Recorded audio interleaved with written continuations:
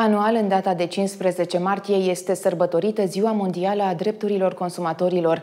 Ediția de anul acesta are ca temă responsabilizarea consumatorilor cu privire la tranziția la energie curată. Împreună cu creșterea prețurilor la alimente și energie, consumatorii de pretutindeni își schimbă radical stilul de viață pentru a avea acces la lucruri esențiale. Un studiu recent arată că peste 80% dintre consumatori își ajustează bugetele pentru a-și plăti facturile la energie.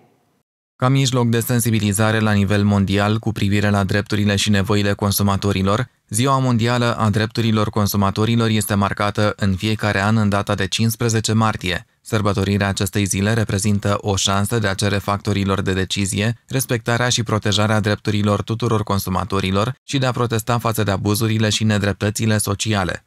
Este Ziua Mondială a Consumatorilor, ar trebui toți să sărim într-un picior, să ne bucurăm că suntem consumatori, dar să nu uităm un lucru. Suntem cetățeni europeni și avem drepturi, dar degeaba avem drepturi dacă nu le exercităm. Așa că eu cred că, mai ales pe 15 martie și în o săptămână înainte, o săptămână după și poate de ce nu, să ne facem un mod de viață, să fim cu adevărat consumatori, să ne exercităm drepturile și principalul drept este de a face o reclamație, avem dreptul de a primi un răspuns, avem dreptul de a sesiza, avem dreptul de a fi informați. Și dacă nu suntem informați corect, nu cumpărăm, fiindcă suntem 19 milioane de comisari de protecție a consumatorilor care de fiecare dată, când ne punem în minte să cumpărăm un produs sau un serviciu, mergem în control practic și îl premiem pe cel pe care îl cumpărăm și îl sancționăm pe cel pe care nu îl cumpărăm. Așa că dacă vom sancționa mai multe produse care nu sunt aproape de ceea ce ne dorim, mai devreme sau mai târziu va dispărea acel produs din raft. Anul acesta ați spus că aniversați 20 de ani? 20 de ani de protecția consumatorilor în România, 20 de ani de Infocons,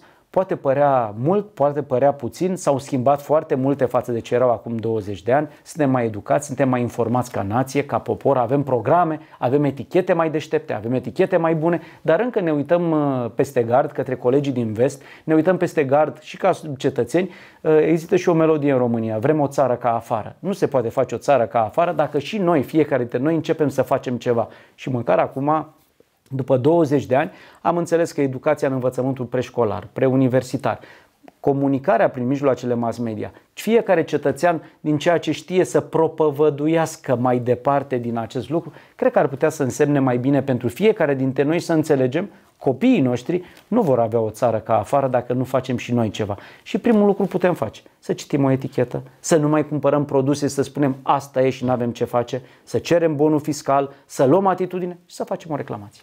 15 martie 1962 reprezintă momentul istoric al nașterii mișcării mondiale a consumatorilor, însă această zi a fost marcată pentru prima dată în 15 martie 1983. Ziua Mondială a Drepturilor Consumatorilor a fost proclamată și printr-o rezoluție din 1985 a Adunării Generale a ONU. Potrivit acesteia, consumatorul trebuie protejat de pericolul de a achiziționa produse ce îi pot afecta viața, sănătatea și siguranța.